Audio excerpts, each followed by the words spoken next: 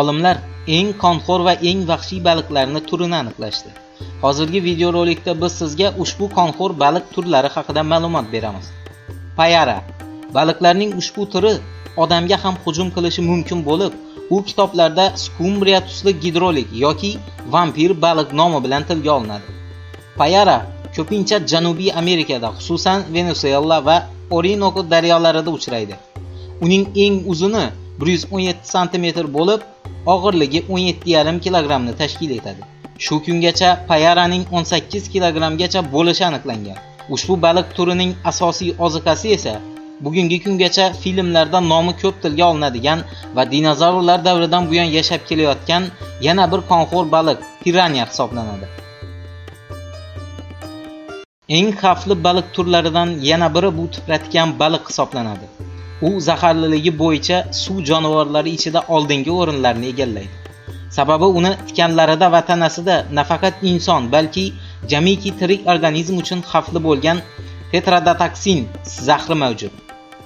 Ushbu zahar insonda orkamiyani ishdan chiqarib, shol, ya'ni parallijni keltirib chiqaradi. Baliqlarning ushbu turi nafaqat iste'mol uchun, balki yaqinlashish uchun ham xavfli sanaladi.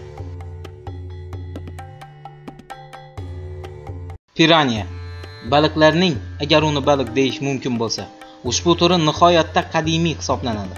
U qadimgi tosh davridan buyon mavjudligini olimlar o'sha davrlarga oid tarixiy manbalardan aniqlashgan. Piranyalar asosan to'da bo'lib harakat qiladi va ularni kamdan kam hollarda yakka uchratish mumkin. U Janubiy Amerikada va Braziliya daryolarida uchraydi. Uni qo'lyozmalarda uchuvchi baliq ham deyishgan bo'lib, uzunligi 20-30 sm, og'irligi esa 1,5 kg ni tashkil etadi. Piranyalarning bugungi kungacha odamga hujum qilganligi qayd etilmagan, ammo bu baliq o'ta qonxo'r va tezkorligi bilan baliqlarning boshqa turidan ajralib turadi.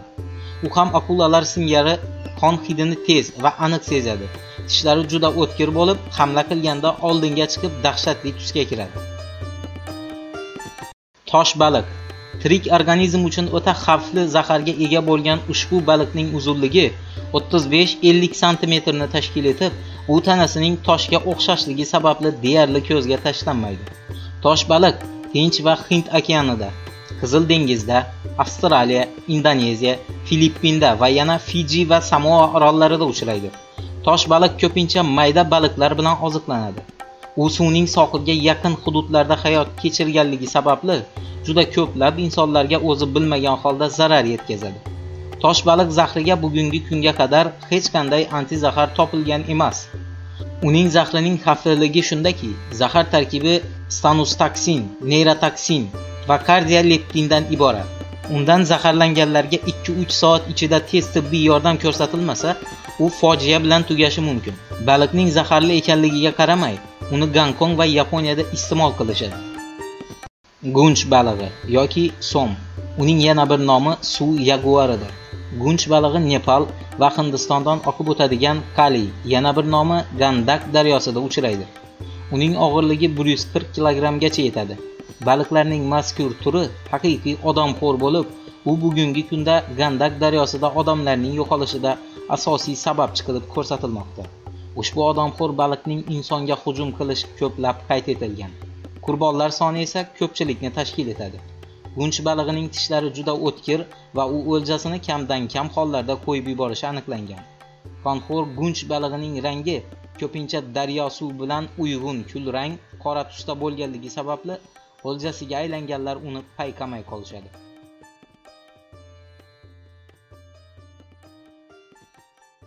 Yo'lbars baliq yoki mbenga 32 ta juda o'tkir tishga ega bo'lgan baliqlarning mazkur turi Afrikada, xususan Kongo va Lualaba daryolarida, Upemba va Taganika ko'lida uchraydi. Uzunligi 1,5 metr va og'irligi esa 50 kg ni tashkil etadi. Yo'lbars baliq ham odamxo'r hisoblanib, hozirgacha insonga hujumi 17 marta qayd etilgan. Asosan yirik baliqlar va ilonlar bilan oziqlanadi.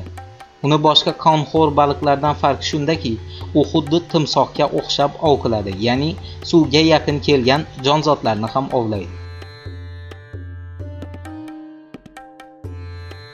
Elektr baliq Baliqlarning ushbu turi haqida ma'lumot juda kam bo'lib, u Janubiy Amerikada va Amazonka daryosida uchraydi. Uning uzunligi 1-3 metrni, og'irligi esa 40 kilogrammni tashkil etadi. Elektr baliq nomiga mos ravishda o'ljasini elektr toki yordamida ovlaydi. Uning qizg'ish sariq va yashil ranglari ko'proq kuzatilgan bo'lib, u o'ziga xavf sezganda yoki o'ljasiga 600 vatt elektr toki yuborishi mutaxassislar tomonidan isbotlangan. 600 vatt elektr toki esa barcha tirik organizm uchun fojiali yakun hisoblanadi.